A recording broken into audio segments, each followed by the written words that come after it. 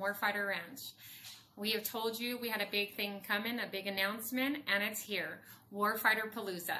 We're so excited. We can't tell you guys how much we are looking forward to this day. March 28th, 2020. Mark your calendars. Please mark them now and so you can make sure that you do not miss this day. This is a community day for our veterans and their families.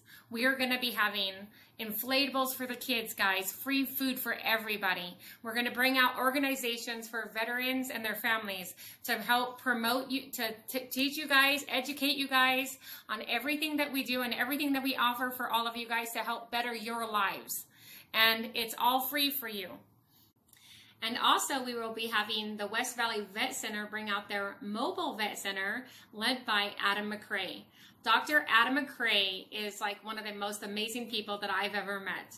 He's a combat vet, he's a psychologist, he specializes in PTSD, and I can't say I can't say enough about him. I'm so excited that he's going to be there, and we love his commitment.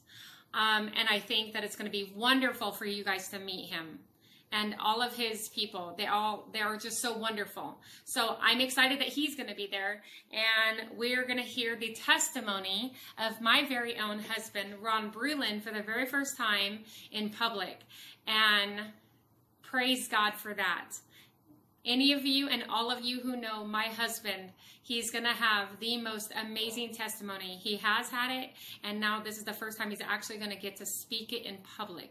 So I can't wait for all of that to be shared with all of you. Please come, come March 28th so that we can see you all, we can hug you all, we can know you, meet you in person, and just share lives together, guys. Let's do this. Let's make Warfighter Palooza a huge, amazing Warfighter event. We love you so much. God bless you all.